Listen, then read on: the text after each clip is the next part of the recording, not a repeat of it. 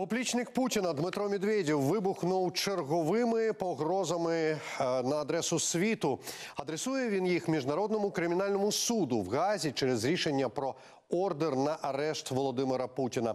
Мовляв, можна собі уявити точкове застосування гіперзвукового Онікса з північного моря з російського корабля по гайській будівлі суду. Проте ці конвульсії росіян не скасовують головного. Світ уже сприймає Путіна як міжнародного злочинця. Докладніше про сценарії, за якими диктатор може опинитися на лаві підсудних, поговоримо з Олександром Качурою, юристом, заступником голови комітету з питань організації державної влади, місцевого самоврядування, регіонального розвитку та містобудування. Пане Олександре, вітаю вас! Слава Україні! Героям слава, доброго здоров'я. Навзаєм.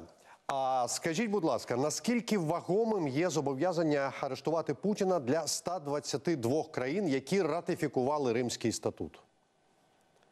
Ну, знаєте, по-перше, хотів би сказати, щоб ми всерйоз не сприймали е, осіб, які залежні від алкогольних напоїв. Те, що він там пише, давайте ми не будемо на це звертати увагу. Абсолютно точно. По-друге, якщо говорити про наскільки це серйозним є, що дійсно на сьогоднішній день всі країни, які ратифікували Римський статут, вони повинні повинні виконати цей ордер на арешт і відповідності до взятих на себе зобов'язань доставити Путіна до Гаагі, до того, щоб відбулося це розслідування далі і засудження за відповідний злочин по депортації дітей. На жаль, у нас вже є випадки в світі, коли тут же ще є теж такі були е, схожі ситуації в світі. Це і Муаммар Каддафі, це і Амар Аль-Башир. Тобто, от у випадку з другим африканські країни, деякі, коли він потрапляв до них на територію, вони не виконували ці взяті зобов'язання. Тому це тільки початок, тому що я бачу зараз підйом певний такий. От ви знаєте, у нас настрою від того, що так ордер видали, але треба ще багато роботи буде провести дипломатичної. І міжпарламентською для того, щоб дійсно цей ордер був виконаний, щоб ніхто навіть не думав про те, щоб його не виконувати і не притягти до відповідальності Путіна. Ну, от, власне, Німеччина, наприклад, вже висловила готовність виконати ордер на арешт Путіна, якщо той приїде. Уявімо, що це сталося. А хто його має затримати і куди потім направити? Ну, знаєте, Німеччина дуже символічна. От як казав Михайло Подоляк, мені сподобався його коментар, що це дуже символічно, що саме та країна, яка вчинила ті злочини, які були під час Другої світової війни, вона першою, і це дуже символічно, заявила про те, що дійсно він буде затриманий, якщо він потрапить на цю територію. Тобто, в даному випадку, відповідно до міжнародних зобов'язань, повинні його затримувати правоохоронні органи і доставити. Тобто, цей весь алгоритм він прописаний, він відомий тим країнам, які підписалися під цими умовами. Він повинен виконуватися. Угу. Дуже важливе питання, на якому можуть грати росіяни, це напевно імунітет глави держави. А перед міжнародним кримінальним судом Путін говорять експерти з міжнародного права.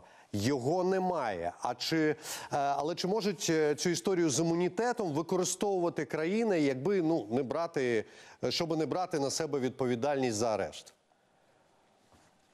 Відповідно до норм стандартів міжнародних жодного імунітету, це міжнародний кримінальний суд, він не дає імунітета, і жодний імунітет не діє в даному випадку. Тобто, це найпотужніша система притягнення до відповідальності за такі от види злочинів. А я нагадаю, що це злочин геноциду, це злочин проти людяності і це воєнні злочини. Ось саме ці злочини розслідує міжнародний кримінальний суд. і Жоден імунітет не діє навіть для глав держав. І я ж кажу, що тут вже от і з Каддафі, з іншими випадками, які були, правда, він трошки не дожив до того, щоб його притягли до відповідальності. Але я думаю, що от всі, хто потрапляє під пильний погляд міжнародного кримінального суду, на кого видають ці ордери, їх всіх чекає аналогічна, я думаю, доля.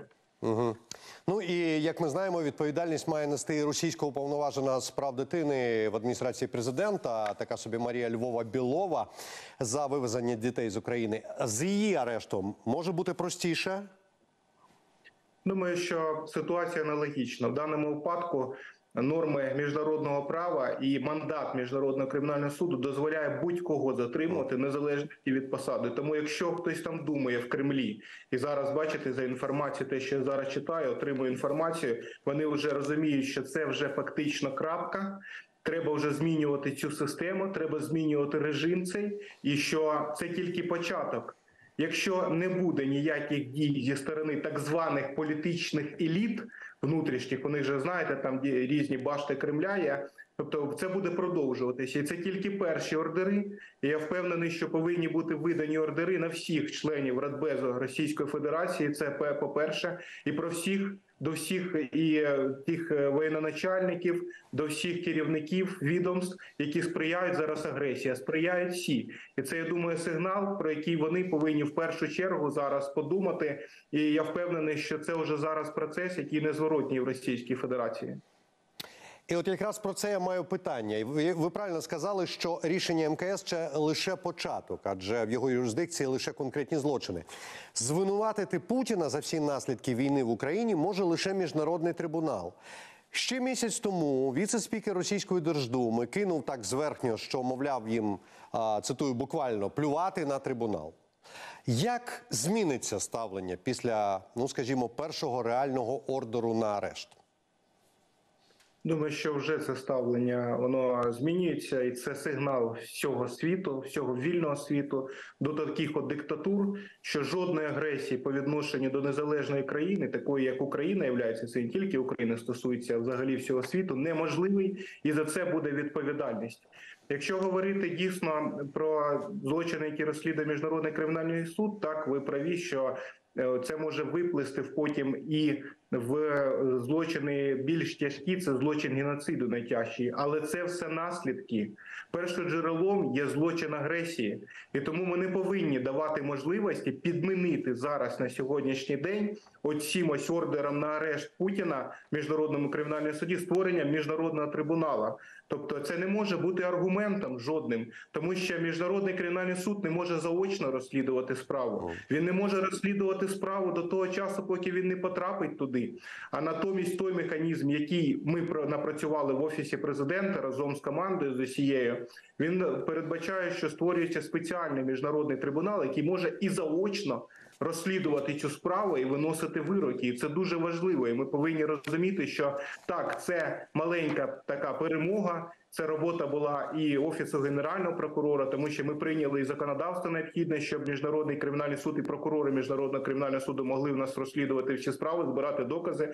Ми створили і в нас можливість тимчасовий офіс створити в Україні, і за кордоном дали можливість створити відповідні алгоритми для того, щоб це відбулося. Але це тільки початок, і це не є метою.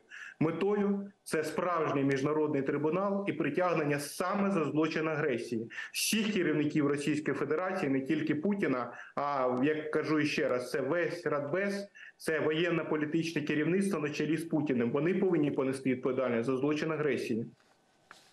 Я розумію, що це юридично невірне питання, але просто цікаво, е, чи є у вас погляд на те керівництво, чи можливо колишнє керівництво, яких іще країн в принципі може опинитися у, скажімо так, зоні уваги?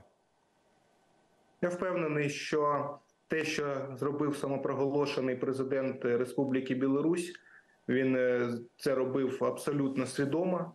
Він сприяв агресії, він пустив техніку в Бучу, в Ірпінь, на всю територію нашої країни.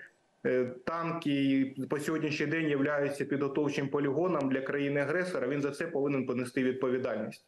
Я думаю, що він теж буде на лаві підсудних разом з Путіним. Рано чи пізно це відбудеться.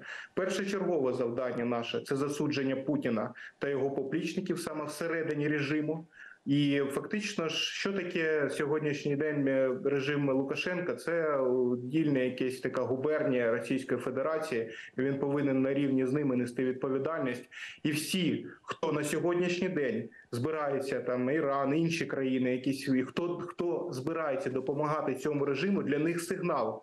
Що, по-перше, ви зустрічаєтесь, якщо якісь вступаєте в контакти зі злочинцем, тому що, як сказав мій колега, академік, він сказав, що тепер ми можемо в офіційних документах писати Путіна злочинець, який притягається до відповідальності. Путін саме так його треба називати тепер в усіх офіційних документах світі. І всі, хто думає, що може якось воно пройде повз нього, і він буде далі в контакти вступати. Ні, якщо ти зустрічаєшся з ним, ти зустрічаєшся зі злочинцем. І Це повинні розуміти. Я думаю, що коло тих осіб, які б хотіли б зараз уже провести якісь переговори або домовленості з ним, саме з ним особисто, то він у в нас зменшується і зменшується до нуля, фактично.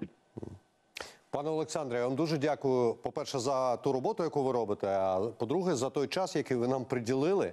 Я нагадаю, що це Олександр Качура, юрист, заступник голови комітету з питань організації державної влади, місцевого самоврядування на е, регіонального розвитку та містобудування. Дякую вам. Дякую.